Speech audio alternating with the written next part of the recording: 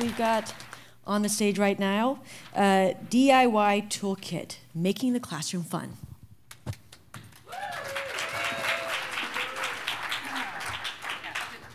Hear the presentation. I, I, we told you yesterday, like very few gimmicks. Um, and I feel like that's a really, really important part of our product. We know that math and literacy is important. We know that classrooms should be more student-centered.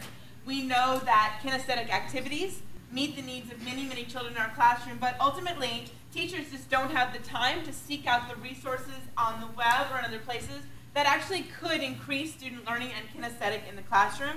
We've created a product that brings the best resources together, and in under two minutes, easily access it.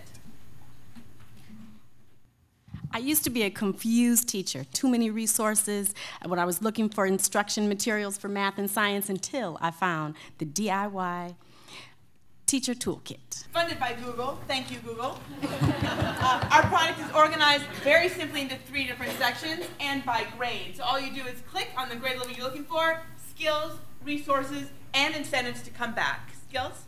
The key to the power of the toolkit is content and searching. The teacher searches by skill set or by objective and finds a two minute video that is perfectly perfect for the classroom, showing reading or arithmetic skills and aligned with Common Core.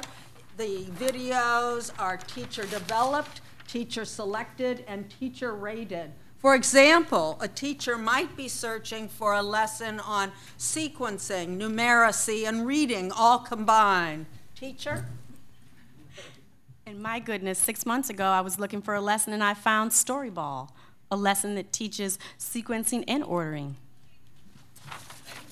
And in no time, you'll be clicking the resources button where you'll find more resources uh, for your activity. If you want to add content to this activity, you'll find how to do that as well. You'll also be connected to blogs in which teachers have commented on this activity and how it affected their classroom.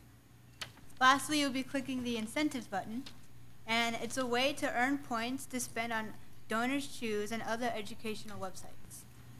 DIY Toolkit makes kinesthetic learning accessible, easy, and free. Students, are you ready?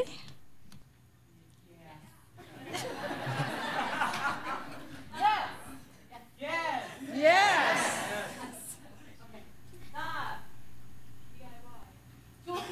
G. Student centered, accessible, Kinesthetic. Reliable. And free. One, two, three. Now, that's, a big, idea. idea.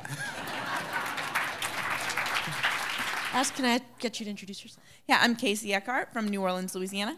Are you a teacher? I definitely am. And it seems like one of the big themes that's sort of bubbling up is uh, that there's a lot of information out there, just hard to figure out how to find it. Uh, have you had experience of that in your classroom, and can you tell us about it? Right there, I mean, teachers in the room, hands? Yeah, Snap, if there are a million resources already out there. Right, Snap, you have no time to access them because you're busy doing a million other things. Right, so really we wanted to create a product that fit that small corner. We want student-centered classrooms. We want students to be moving in a classroom and using kinesthetics and other things. And as teachers, we want to be able to just get to it, know that it's good material, access it quickly, and use it. Great, thank you so much.